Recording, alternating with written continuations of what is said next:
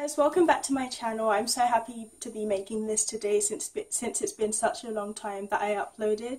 But it looks like the one day I do decide to film, the weather is bad and it's a bit dark, so sorry about that. Um, today I'm going to be making a productivity tips video. Um, normally I would make like a beauty video where I review products that I've been using. That was actually my idea before, but I only had a, couple of products and I thought that would be quite a boring video. So I decided to do this instead. So I'm going to be sh um, sharing some tips that help me to get things done on those days that I manage to get things done. Um, we all have days when we're not as productive, but um, normally when I am productive, it's normally these tips that are helping me. So I'm going to share them with you. My first one is to write things down. Writing things down, you know, it's it makes it so much likely that I'm so much more likely that I'm going to get it done if I write it down. Because not only does it serve as like a reminder, but it makes you more motivated to do it. Um, I read a quote somewhere that was like seeing your goals written down in your um, own handwriting has a powerful effect on your brain. And I think I agree with that because, you know, you see it written down and it's like you've said to yourself, I'm going to get this done. So now you want to make sure that you do get it done. And also, it's nice to be able to check things off a list, like a physical list that you've written things down on even with this video, you know, I wrote it down in on my to-do list. It helped me to be more motivated to film. So my second tip is to simplify your to-do list. Now I've learned so much about this simply because, you know, I used to do it wrong and it didn't work for me. Um, I used to put too many things on my to-do list. I literally used to put about five to seven items, you know, for a day on my to-do list and it didn't work because I had too many things to do um, during a short period of time. Um, it might work for others, but for me it didn't work.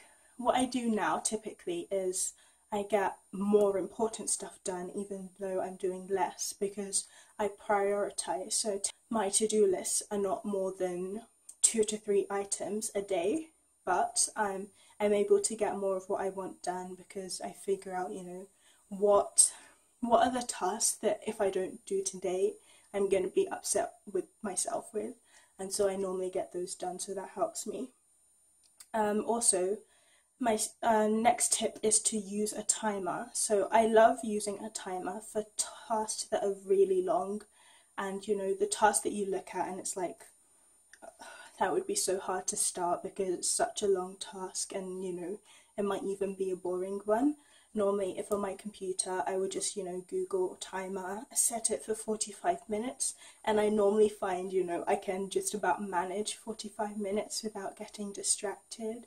I normally find that when I time myself I'm much stricter with myself. I'm able to focus on a task.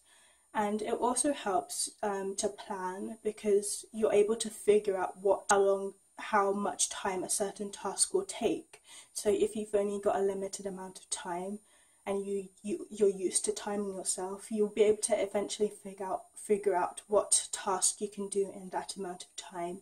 And it's at the end of a specific amount of time to say, this is what I've got done. So that's how a timer normally helps me.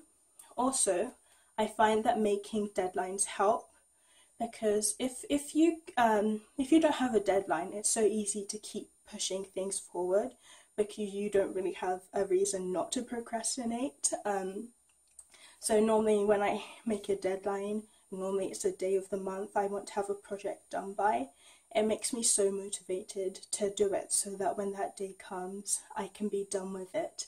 And so, you know, it gives you something to look forward to, even if the thing you're looking forward to is just to be finished with a particular task. And my next tip is to start early. So starting early just it makes you feel good about, you know, what you're able to do because you start early.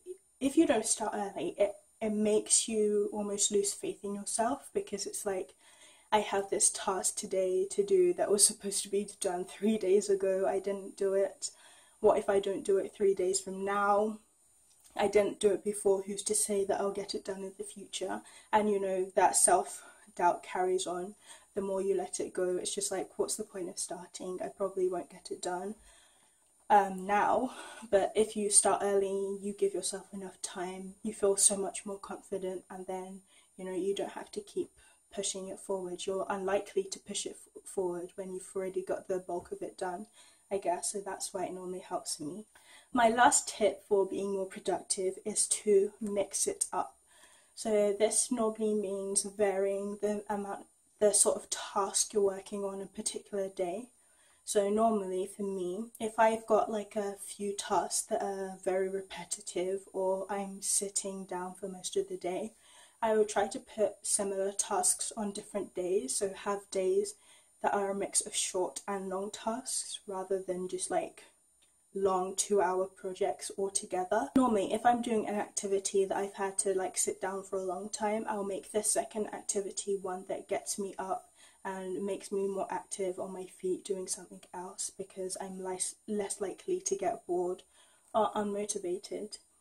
So, these were my tips on how to be more productive. I hope you enjoyed watching. Thank you so much for watching. I normally upload on my blog more, so be sure to follow me on there if you're not following me already. My blog is roliedema.com, and so I post there much more frequently. I normally have a blog post up a week.